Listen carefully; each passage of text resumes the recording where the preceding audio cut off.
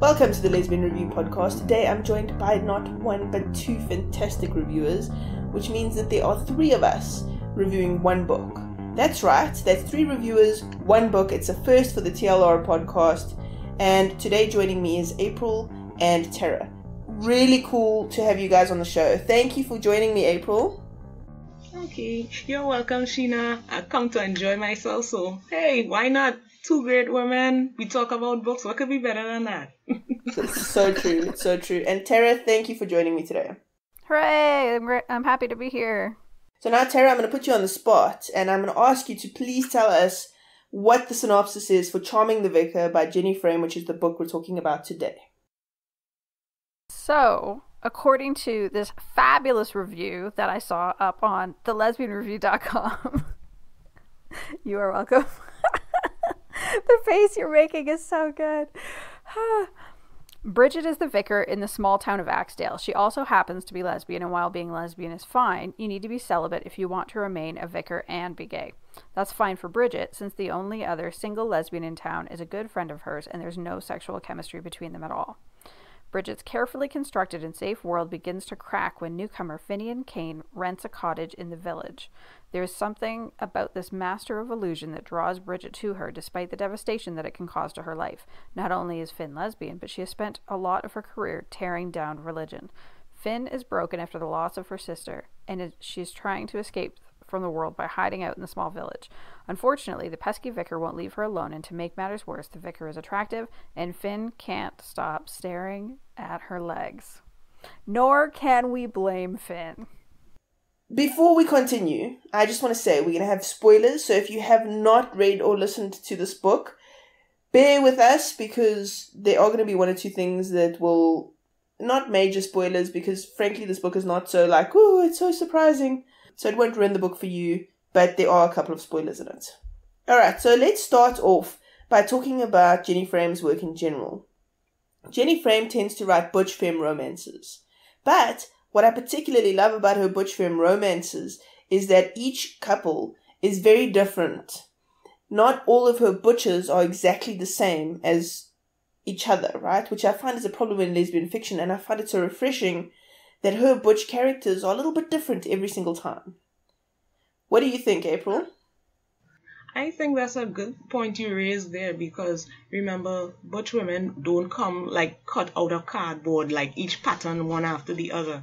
They have unique differences in butches. There are soft butch, hardcore butch, you have different types. There are butches that love to be dominated. They love to be called boys. They love to be dominated. And then there are butchers who don't want to be dominated. They want to be the top, you know. And there are butchers who want to be daddies. They want to take on more of a masculine identity alongside their femininity. And I love to see the way the different butches, how they express their sexuality. It's just wonderful. There's no one way to do butch. There's no one way. I agree with you. Tara, what did you think of this particular representation for butch? I really liked it. I felt like it was really different from all of her others, but I'm not sure I can delve into it without talking about the sex, and I don't know if we want to talk about that yet. No, I think, as with all good things, you know, we need a little foreplay first. Oh yeah. but I did, I did really like her. I don't know that Finn is my very favorite of her butch characters because Dale in Unexpected it's just I just love her so much. But there was a lot that I liked about Finn. She was really complex and I thought it was really interesting what she did with her in terms of her spirituality and um, her what a crisis of faith can look like for an atheist. I thought was particularly interesting. Absolutely, um, I, I absolutely love that side of it as well. April, you brought up an interesting point about um what did you say? Something to do with spirituality. Yeah, because I thought, right, you can be spiritual and you can be sexual. Why should you have to choose? I mean, someone shouldn't have to choose between the two. You can be a spiritual person and express your sexuality. Now, no one is saying that you're gonna wow all the church members on a Sunday with it, but I mean, you shouldn't have to hide the fact that you have a lesbian lover. You can't have a lover and still praise your higher power, you know, in whatever way you choose. And that was a big theme throughout this book was the was Bridget having to choose between um, well not choose but having to sort of battle this this war because as a vicar she couldn't be an out lesbian and and she had to be celibate whereas heterosexual couples did not have to be celibate. They could get married right? So there was this whole battle and that was kind of bridget's internal thing as i kind of loved that because we saw bridget initially in courting the countess. And in that i really thought she was a great character but in this one frame really took her and, and gave her like layers.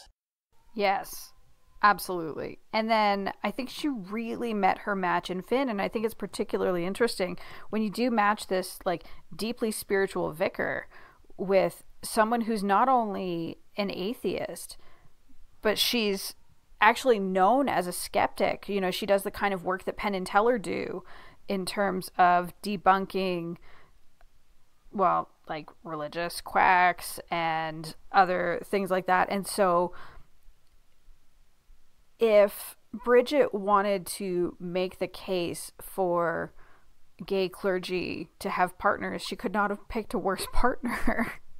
and yet they work so well. And there's something beautiful about seeing Finn come around to it too. And, you know, I'm a person who did come from religion. So I, you know, I really engaged with that side of it in a way that I may not have before because I grew up in an evangelical home and then probably about five years or so ago was kind of when I left the church. And so it was interesting to see the crisis of faith go the opposite way from I've believed all my life in this religion and this doesn't feel right anymore to actually, I didn't think there was anything. I've said there was nothing. I've gone on record, I've gone on television and said there's nothing but oh my God, what if there actually is something? And I thought that was a really interesting twist on the crisis of faith that we've seen in all kinds of media. I agree with you, Tara. Because at the end of the day, I mean, it's not, as you said, she could not have picked a worse partner, but look at how beautiful no. it turned out. Because here she was blasting it all out there, saying, no, there is no God, and showing people up and it's not like she wasn't someone who wasn't known. Everybody knew about her. And for her to go with Bridget and the whole church coming down on her back, oh my God, this atheist is going to change you, going to change the face of our church, everything. What are you thinking? What are you doing? Oh yeah, she she had a lot of ovaries to go there. Yep, a lot of ovaries.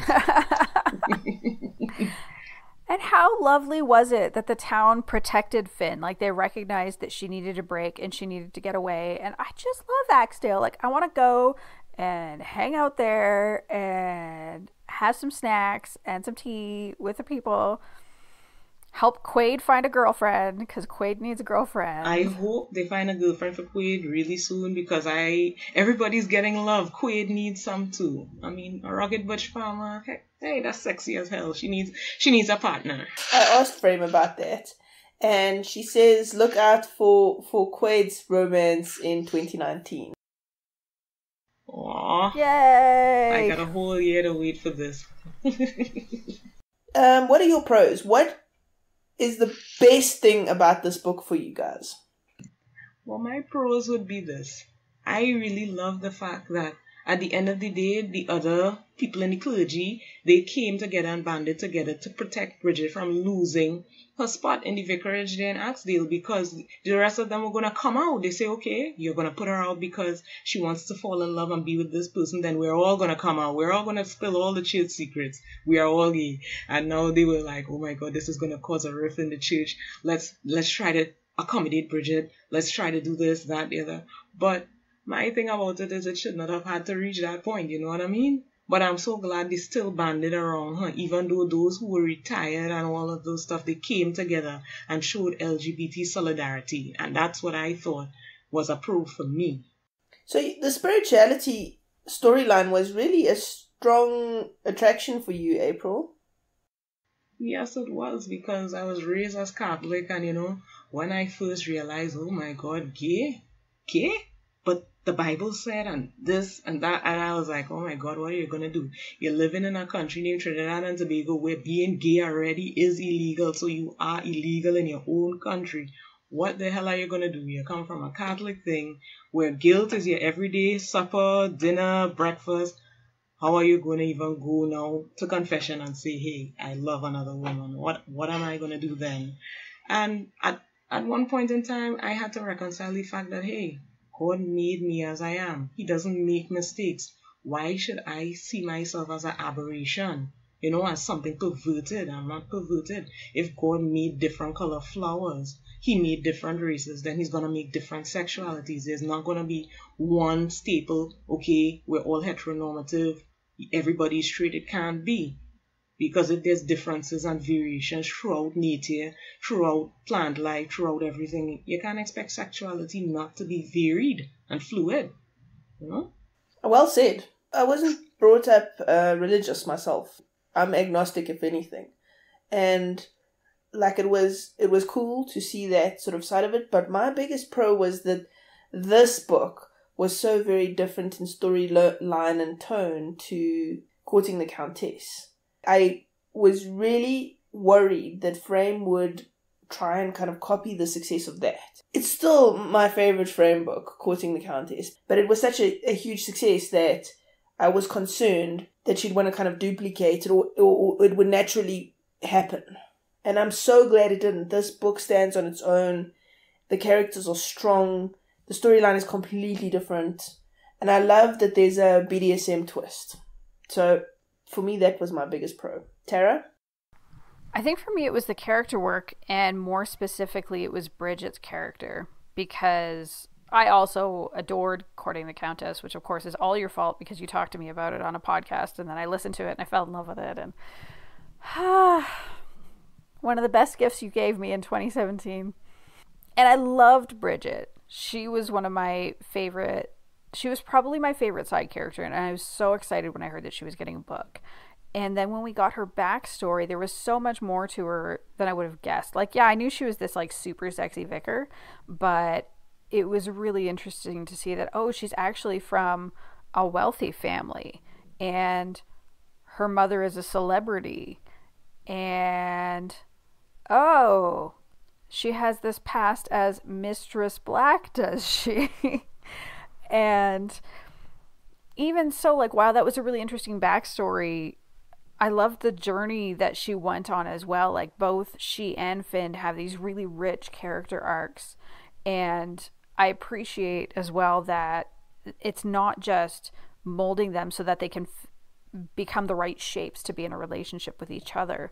It's actually character arcs that make them better for themselves so that they can actually be their most authentic selves in a way that they weren't able to be before.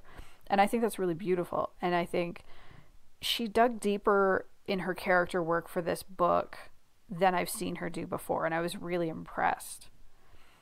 And then I'm going to tack on another pro because I always add things and I can't help myself. and I don't want this to get missed, but the narration for this book is fabulous. I think Nicola Victoria Vincent is just, for me, I can't imagine anyone else reading Jenny Frame's books at this point, especially books that take place in the English countryside. She does a great job on all the characters. She differentiates them well. She does the men's voice as well. Um, and so now when I listen to it, I just, I know I'm in Axedale. It feels good and it makes me happy. Uh, I feel so conflicted because I agree with you about Nicola Victoria Vincent entirely. But I I am concerned. I'm I'm very happy for her to continue narrating all the Axedale books, but I'm concerned about her continuing to narrate all of Frame's books because I want to see differentiation coming out of the British lesfic sector. And she's like the only narrator just about at the moment. You know, and I love her. I love her but I want to see the sector grow. If Jenny Frame writes older characters, she should, or Bold Strokes, I guess, because they're the ones who produce their own audiobooks, should get the same woman who narrated Seasons of Love by Harper Bliss because she's British and she was fabulous. And she has this like super sexy, older, really rich voice. Okay. But that's it. I don't think I I'm trying to think right now if there's any others. I've heard one or two other ones, but but I really like um, because Bold Strokes dominates the audiobook market at the moment. I'm hearing more from them, and therefore their main narrators I'm hearing again and again and again. And it's not that I don't like the narrators. I just I just want to see it growing. That's all. Well, I understand what you mean. You probably want to hear different voices. You want to see other people coming up so that every time you put out a review for an audiobook, you could put a different name as the narrator and you could critique the different person's voice and all of that. Instead of it just being one person because there's only so much you can talk about one person. That is definitely one of the, the things. Alright, so let's talk cons. April, what's your biggest con for this book? My biggest con is the fact that okay, the church accept, finally relented and accepted, you know, Bridget and Finn's relationship, but the thing is, she had to keep it on the down low. It's almost like if she has to hide the fact that she is in a relationship to keep her job as, a, as you know. And I didn't agree with that because I think if it's okay for their straight counterparts to get married and have their relationship out in the open, it should be the same for her. She should be able to go in front of priests in her same organization, put a ring on Finn's finger, and said, I do. You know, and let everybody know. It shouldn't be a secret because closet are for clothes, you know. It shouldn't be for a human being to fit into because a closet is a really uncomfortable and stuffy place. And hey, I know how choking that feels, you know, if you feel like you're gasping for air in that closet.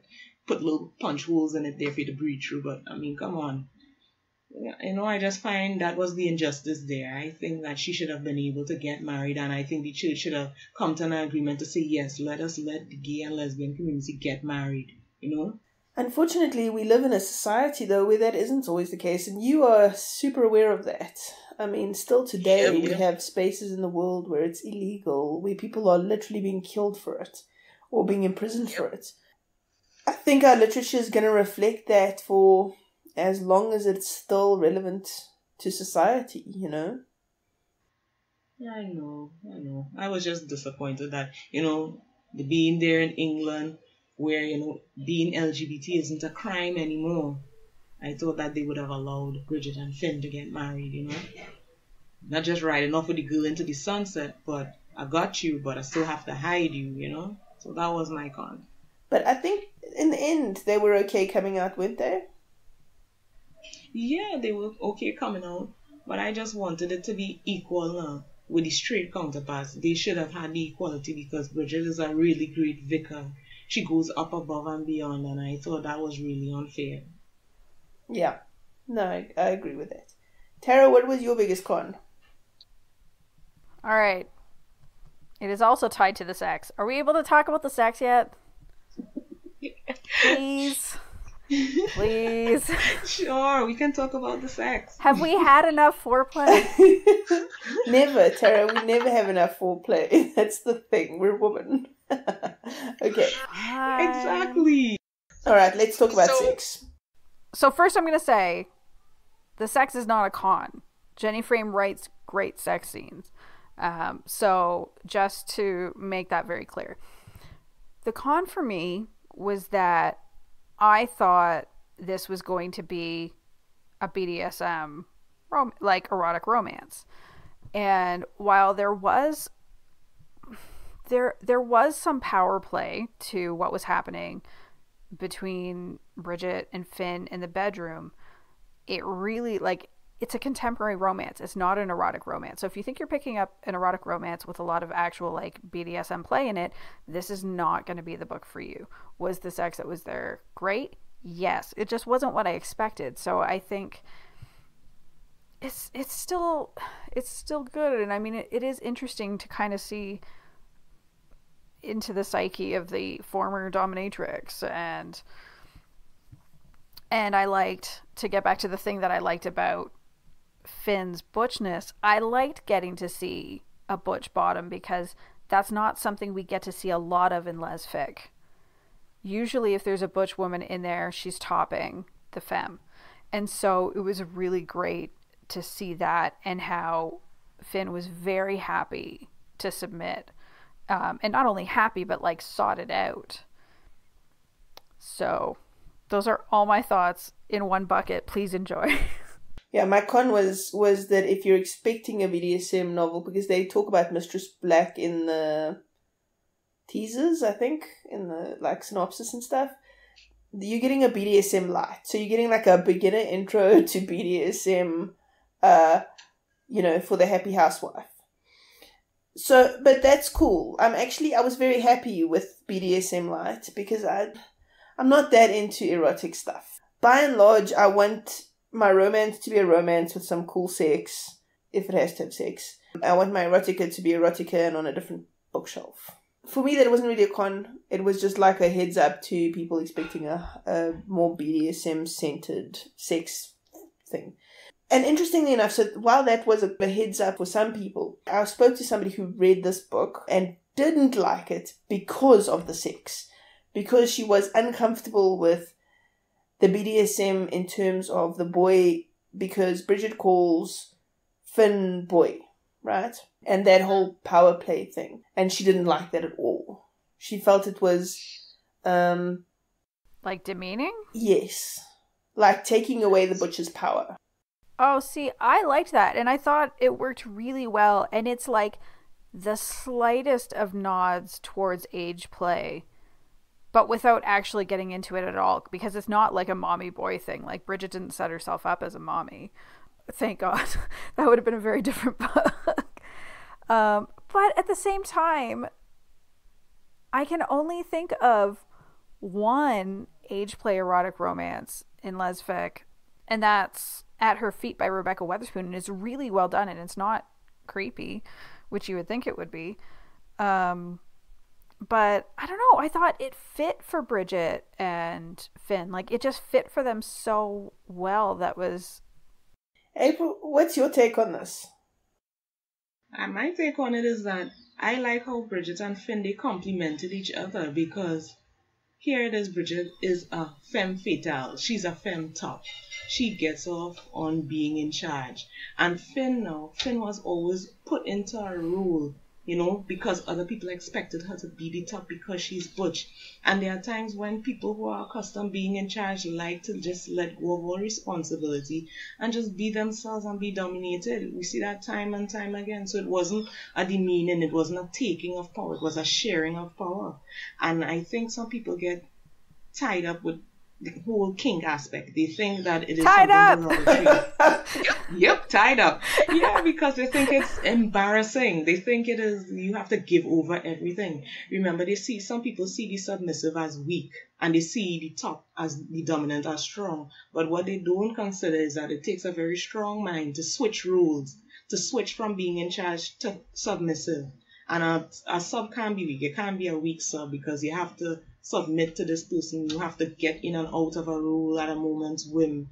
And for the top now, the top feeds off of the submissive power. So a lot of times people think in this kink life that okay, hey, that that being at the bottom is demeaning, I'm gonna be degraded. No, you're not gonna be degraded. It's a sharing of power. If you're not comfortable with something, you have a safe word.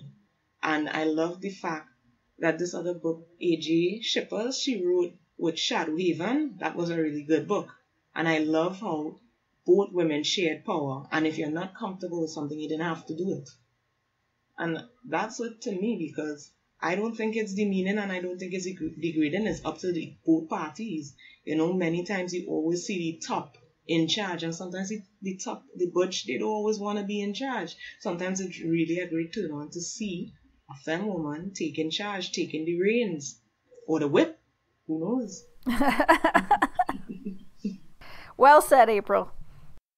I love the the tied up thing. That was funny. Okay, but I agree with you. Would you recommend this book as a must read? And who do you think would enjoy the book the most? Like, what kind of reader? Someone who is into like light BDSM might enjoy this book because it gives you a lot of background into the characters and into other books. It gives you a lovely countryside. It gives you beautiful relatable down to the personalities. I mean, they're dealing with problems and issues that mainstream people we all deal with.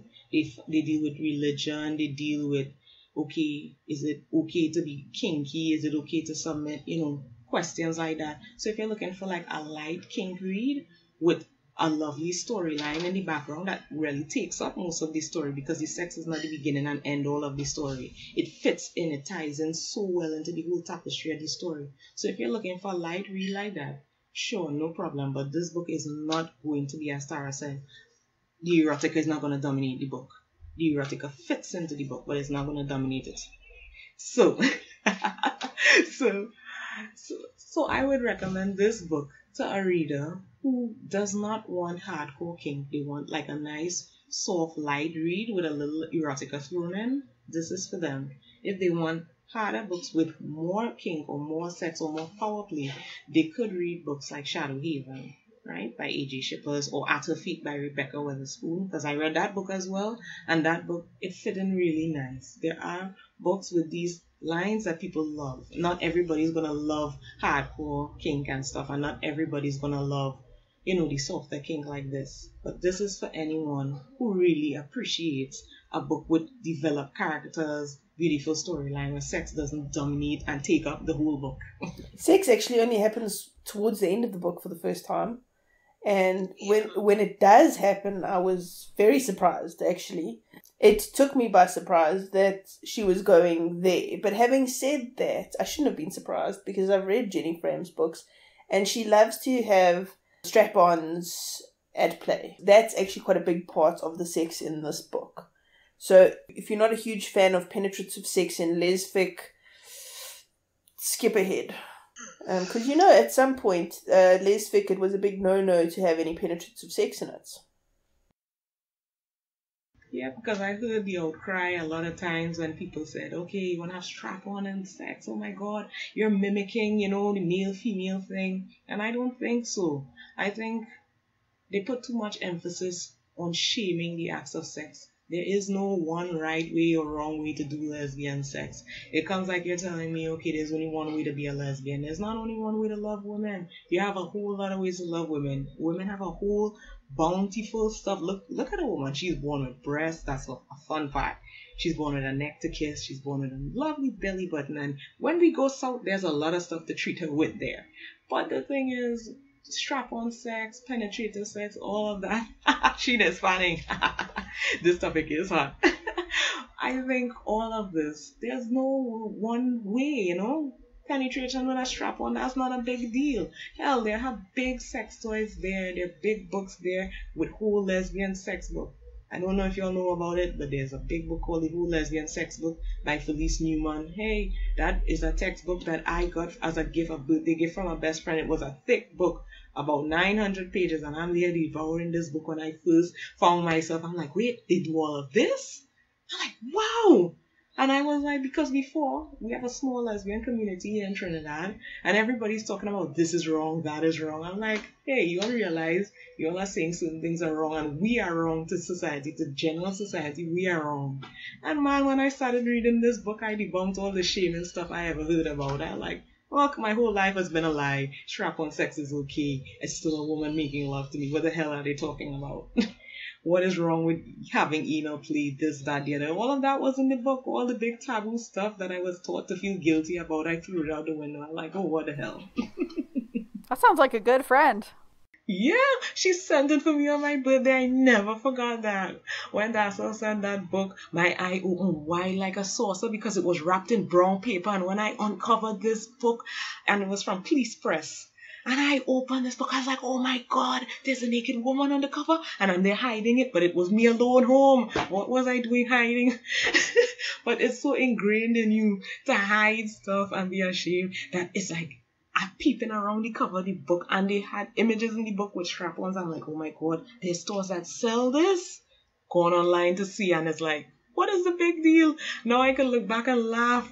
10 years ago, 12 years ago, I'm feeling ashamed to open this book. It's like, oh my god, it's got all I wanted to know. And there it is. Oh well, now I no longer blush. yes, it's an amazing book anytime you look it up with Cleis Press books, it, it wowed me, the whole lesbian sex book. it just wowed me. When it first came out and you don't know what the hell you're doing, and it's like, okay, what the hell am I really gonna do? And then, and I this book and I read it, I had a good laugh at myself. I must admit, I did. So I mean that's useful because it's like, hey, honey, today today we're doing page thirty-three. oh, how you mean? I pulled out that book really well when I got in my first real relationship. I'm like, are we gonna try any of this stuff here? And they're like, oh my god, April, so this is why you're not blushing about anything I brought up. Nope, I'm no longer blushing. I did all my blushing when I first read it. Now it's your turn. I kind of love this. I think we need to give you a sex talk show, April. Mm-hmm. Ah, oh my god, no. And there was one point in time I thought, hey, I'd have become a sex therapist. And I was like, but then I'm going to be hearing about all kinds of stories. Hmm, would how would I keep my face straight when I'm talking about these things? Tara, did you know about this massive sex book? Did you know this thing exists? Um, I didn't know it existed, so I got it. I didn't know that this specific one existed, but I'm not surprised. I mean, there's there's guides to every kind of sex. Why wouldn't there be one for this? That does make sense. I suppose it's the kind of thing where, like, it also wouldn't be particularly useful to me. Like, I am married to a dude. So let's let's veer back away from April's sex life, back to the topic at hand. Charming the Vicar. Alright, so Charming the Vicar was a follow up to Courting the Countess. Do you think it was a worthwhile follow up? Yes. I definitely think so. Do you think it was better than Courting the Countess? That's not a fair question. Yeah. Sheena, she you're not being fair. You're not being fair. Tara, you agree with me, right? Yeah, I do. I think it's hard to compare. I do think that I enjoyed Courting the Countess a little more because I love Annie very much, as has been documented in probably at least two other podcasts at this point. But I I enjoy courting the Countess more. I love courting the Countess more. I think Charming the Vicar is a better book. It has better character work, and it deals with more difficult and interesting themes. Hmm, that's an interesting take on it. What do you think, April? It's a really hard choice to me. Yes, I really love Courting the Countess because that was the first Jenny Frame book I've ever read, Courting the Countess. And boy, is it really hard to choose between that and Charming the Vicar. But after Great Tara, there's a lot more character development in this other book. And I just love the switch of the dynamic. It doesn't follow a pattern. I just love the switch up and the dynamic. I love both books equally. So I cannot choose which one I love more. I loved Courting the Countess for it being my first at Jenny Frame. I love it for these lovely butch characters, especially Harry. I'm not gonna fangirl, I'm not gonna go down there. And I still love Finn and Bridget. I just love a woman in heels too when they're ready. But come on, I really love my butchers. So I think I might still hold tight to Courting the Countess. I still hold tight to that, but I love Charming the Vicar as well. What about you, Sheena? Um, I don't think it's a fair question, Tara. You, you bad person. Courting the Countess will always be my first love, Jenny Frame. It doesn't matter what else she writes. I just fell in love with that book. I've listened to Courting the Countess on repeat. Like I've listened to it in a loop because I've just loved it that much. So it's not actually fair to compare it to any other book because I just love it that much. Charming the Vicar is an excellent read. It's an excellent audiobook. It's a really good book. I love that she did such different things with this one to any of her other works. And I just love Jenny Frame's writing, and every single story she gets stronger and stronger as a writer. So, yes, technically this is probably a better book, but there's something about Courting the Countess, the magic spark that holds my heart. See? I knew I was right. I was not the only one. This is a great book, though. I mean, you know. Okay, so if people love Charming the Vicar, what else should they be listening to? Or reading? I just love English books with a lovely countryside feel. I just love any book that goes on that route, and I love Jenny Frame's book. And then I love, Lord, yes, the other day I was fangirling about Gerri Hill and some of her books with that lovely countryside kind of feel. So I would recommend some of Gerri Hill's books like The Cottage, Secret Pond. So that one is another book that you could look at. What about you, Tara? So, if you want that small town British kind of feel, because this book, I have a few different recommendations because this book has a few different elements that you can't actually all find together in any one other book. So, if you want that British small town feel, then I would recommend Poppy Jenkins by Clare Ashton. Even though it's in Wales, it's not in England, but it has that like fabulous very it is a very small town with lovely quirky characters, beautiful romance. You cannot go wrong with that book. If you want if you want just an excellent BDSM romance, and you can get this on audio, you should get The Night Off by Meghan O'Brien. It's narrated by Alexandra Wild. It's so good. It's probably the best one. And if you want another erotic read that's a lot well, it's a lot angstier, but it's so much fun, then I'd recommend French Kissing by Harper Bliss. The first season in particular is super erotic and it has a similar like there's kink there, but it is kind of more in the kink light rather than uh, a really heavy kink to it. Um, and it's in audio with Abby Craden narrating it, and she does a fabulous job. I'm listening to season three right now. I am in love with this series. I highly recommend it, especially in audio. Okay. I find it really difficult to recommend books for Jenny Frame. If you enjoyed this, read this because I find that Jenny Frame has such a unique voice in Lesfic. She she is doing things that no other authors are doing. She's got a particular tone that nobody else is really doing. Her butch femme combinations, even other writers who are doing butch femme are not doing it the way Jenny Frame is doing it. So I'm finding she's if you if you like Jenny Frame, just read Jenny Frame. That's kind of my my philosophy on the matter. She's mm. got a bunch of books out.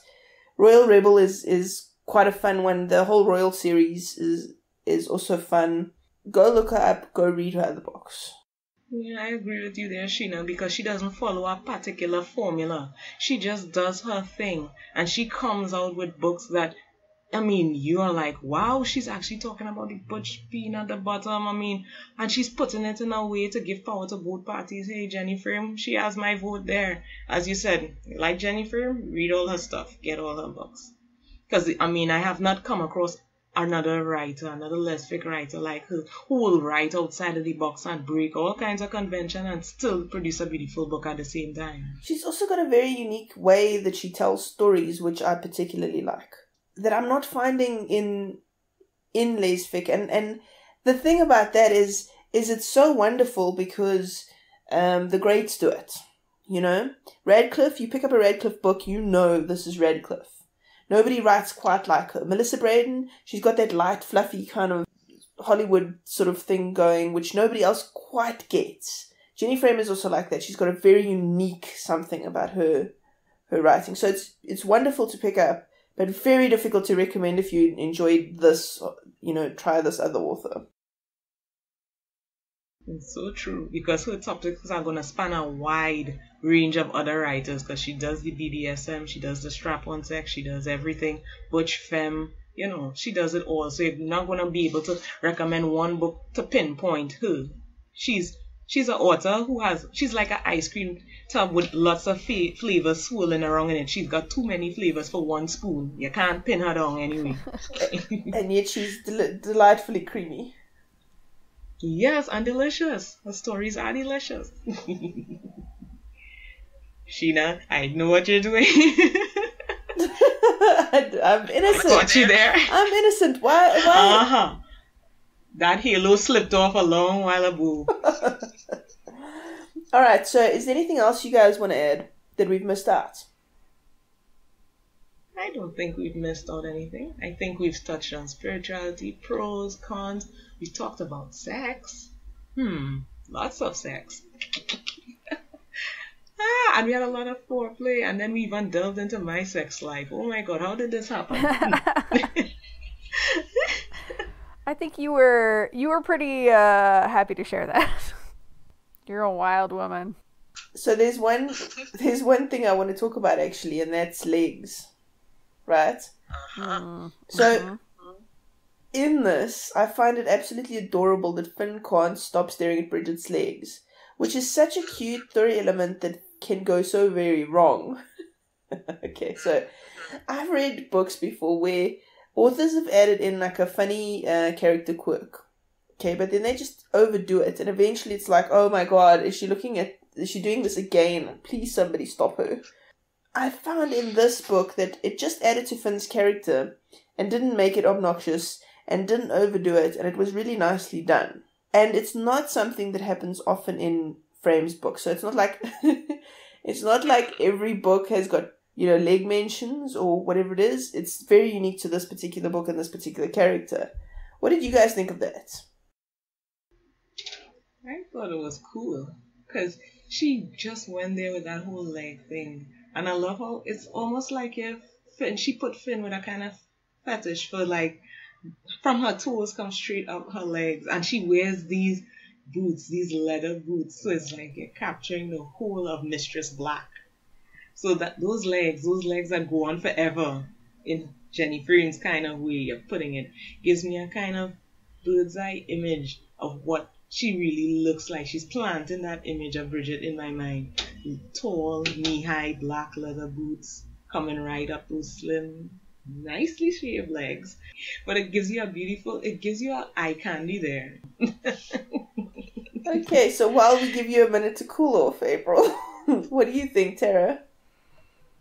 Yeah, I agree. I like that it was very much a part of Finn. It's not just a thing that comes up in book after book. And I think it also they did some fun things with that and Finn's submission. I I liked how how Frame tied that in.